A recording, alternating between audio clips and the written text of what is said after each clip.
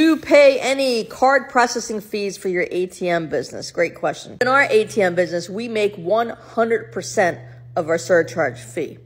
And folks that work with us and process with us, they will make 100% of their surcharge fee as well. So if you charge a $3 surcharge, you're going to make $3. Now, what you do with that $3, whether you want to give some to the business owner or not, that's up to you, but you're going to make 100% of what you charge. Now, there are interchange fees, and interchange is a back end uh, fee that MasterCard and Visa pay to make sure that ATMs will take their cards. With interchange, there comes network fees and buy rates, which is a fee. Most ATM business owners are not going to have any interchange fees because they're not making an interchange because the ISO or, or processor uh, is keeping the interchange to offset the free processing that they give the folks. Hope that makes sense. Any questions, drop them below.